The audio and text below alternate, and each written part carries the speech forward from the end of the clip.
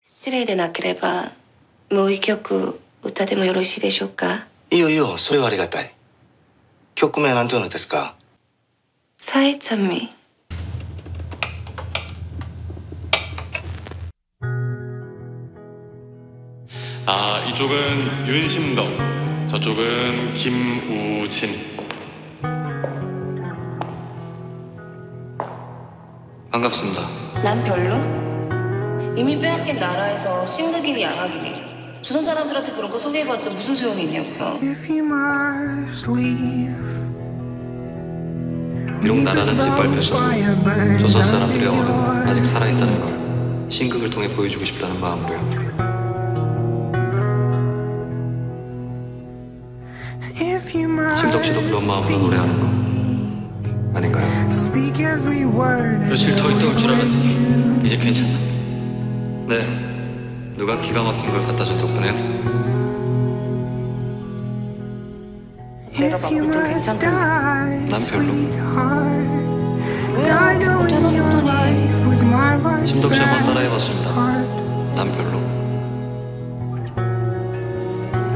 이기지 못할 무언가에 부질없이 덤비는 것 같기도 했고 그런데 지금은 아니에요 우리가 희망을 가지고 뭔가 시도를 한다는 게 중요한 거죠. 랭코시로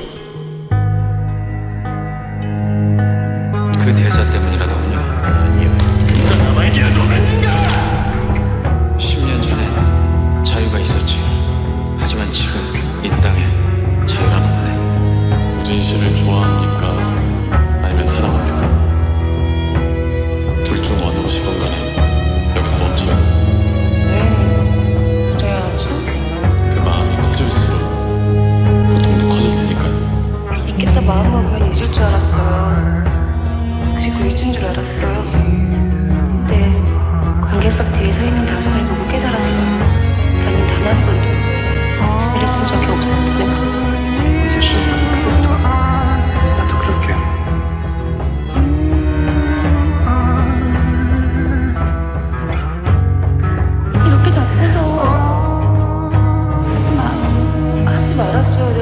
때문에 괴로운 거라면 헤어지면 그만이잖아요 근데 왜 이런 선택을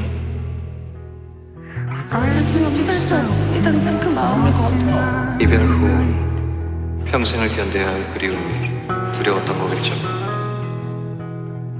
우진 다시 글을 써봐요. 난 당신의 글이 좋거든요 어디 가지 말고 내 곁에 deserve. 아무래도 당신 없이는 안 되겠어요.